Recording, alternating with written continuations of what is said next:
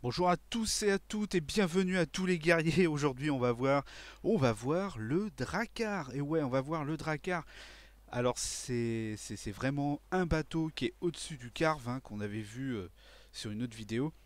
Là, le Drakkar, il est, ah, il est bien, il est bien, il est très très bien. On va voir ça ensemble. Parce que voilà. C'est un bateau qui va super vite, enfin super vite. On est loin d'un hors-board, hein, on est bien d'accord. Mais là, on est sur un bateau voilà, qui est un petit peu plus conséquent et qui peut porter beaucoup plus. Voilà, il peut porter quand même beaucoup plus. Donc c'est quand même quelque chose de super cool. Parce que comme vous le savez, pouvoir porter, ça permet en fait de farmer. Donc on est bien d'accord que c'est celui-là. Voilà, c'est le fameux Drakkar. Donc on va le construire. Donc là je suis trop loin de la table. Donc pour le Drakkar, il va falloir évidemment tuer le deuxième boss. Voilà. Le deuxième boss va vous donner une clé. La clé va servir à ouvrir les catacombes dans les marais. Voilà, ça va vous permettre d'ouvrir les catacombes dans les marais et pouvoir farmer le métal. Une fois que vous avez le métal, et eh ben en fait, vous allez pouvoir euh, fabriquer des clous. Ah ouais, des clous en fer, donc il en faut quand même 100, ce qui correspond en gros à 10 euh, plaques. Voilà. 10 plaques, bon la peau de serre pas compliqué, le bois précieux, donc on est bien d'accord que c'est le bois avec le tronc blanc qui s'appelle le bouleau. L'écorce ancienne, donc c'est euh, du bois pourri que vous trouvez en fait dans les marais. Et puis bah une table de, de fabrication. Et eh oui, la base. Par contre, pour le mettre, ça va être coton. Il risque d'avoir des dégâts. Attention, on va le lâcher. Ouh, c'est bon. C'est bon, ça s'est bien passé. Donc il est beaucoup, beaucoup plus imposant que l'autre. Que le petit bateau qu'on a vu. Hein. Et en plus de ça, il a un avantage. Voilà, c'est son stockage. Alors l'autre bateau... L'autre bateau, je crois qu'il n'y en avait que 4. Ouais, c'est ça.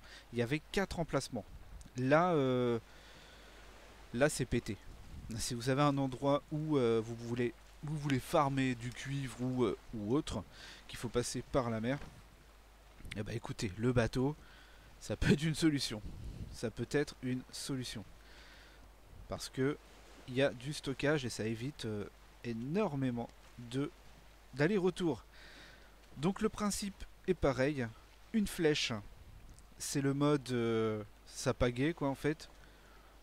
Voilà, quand vous n'avez pas de vent, vous mettez sur une flèche et c'est nous qui faisons avancer le bateau. Arrière, la marche arrière. Et à partir du deuxième, la deuxième flèche, on est d'accord que c'est les voiles qui sont actives. Voilà, tout simplement. Avec le sens du vent sur le rond de droite si le, vent qui est euh, c'est les trois petits traits avec euh, voilà, le symbole du vent, là le symbole est noir, ça veut dire qu'il n'y a plus de vent. En gros. L'avantage aussi de ce bateau là, c'est qu'il y a une échelle de chaque côté. Voilà, il y a une échelle de chaque côté, bon bah ça c'est cool. Ça permet de monter d'un côté ou de l'autre. Surtout que notre, notre endurance elle est vraiment pas top. Mais vraiment. Voilà. Hop. Donc un gros pépère. On peut monter vraiment à plusieurs là-dessus. Ça permet de partir en expédition. Vraiment où vous voulez. surtout que euh, quand je vois voilà le boss, le Mazdos, il arrivé là quand même. Voilà. Moi, je suis là, il y a tout ça à traverser. Donc, c'est des trucs à prévoir. Le gros bateau est vraiment cool. Après, c'est vrai que 10 clous, ça fait vraiment beaucoup. Ça fait quand même, euh, ça fait quand même 10 plaques de, métal. Et vous avez peut-être pas envie de mettre euh, dans ce gros bateau.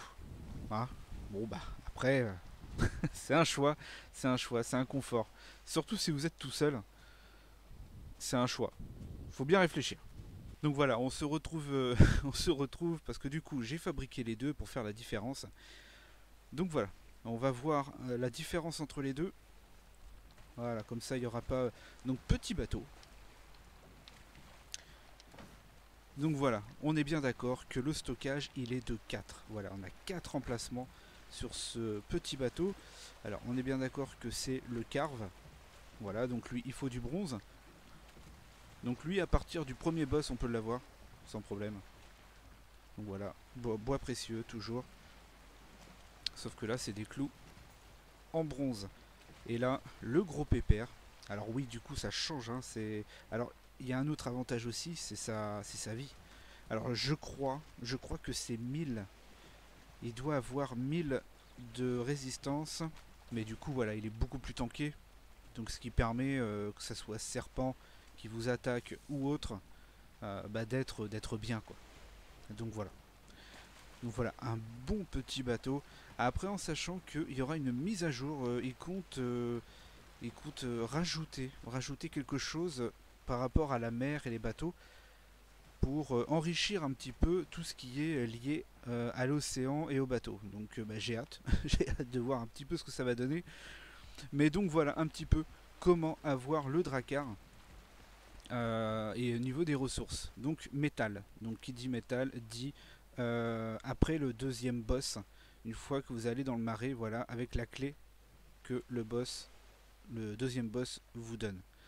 Donc on est bien d'accord que c'est l'aîné. L'aîné vous donne une clé, ça sert justement à ouvrir les caveaux qu'il y a dans les marécages. Donc euh, j'ai déjà fait une vidéo comme ça, comment avoir le métal, euh, justement pour faire voir un petit peu à quoi ressemblaient les caveaux. Donc euh, voilà, c'est quelque chose... c'est un peu bizarre hein, de d'avoir du métal dans la boue, mais c'est comme ça, on peut pas l'avoir autrement. Enfin, pour l'instant, je pense, parce que j'ai J'ai pas trouvé de solution pour avoir du métal autrement. Euh, donc voilà. Eh ben écoutez, on va se laisser là et puis je vais vous dire à la prochaine. Bonne navigation les vikings et faites attention, faites attention aux dangers de la mer. Allez, je vous dis ciao ciao. Bye.